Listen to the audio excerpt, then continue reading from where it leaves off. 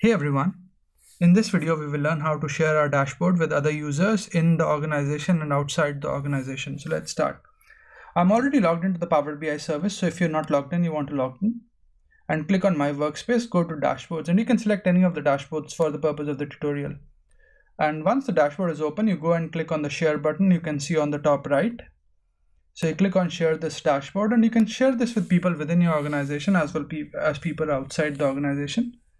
So for the purpose of this tutorial, we'll just include the email address of somebody in the organization. So I have somebody who's a Power BI developer in my organization, so I'll just keep him and say sharing my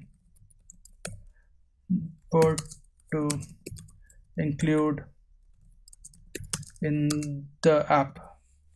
And then I can click on the share button.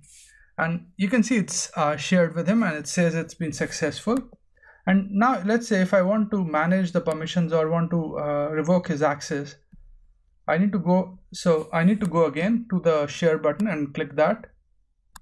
And then in place of share I need to hit access. And um, for these three ellipses I can say remove access. And then I need to say report as well as the data set and hit remove access and close. So now if I go to the share button and on access I'm the only one who's got access to the dashboard and nobody else has access. Uh, so in this video we learned how to uh, share our dashboard with somebody else in the organization and to manage access on the dashboard and the underlying data set for the dashboard. I hope you find this video useful and thanks for watching this video.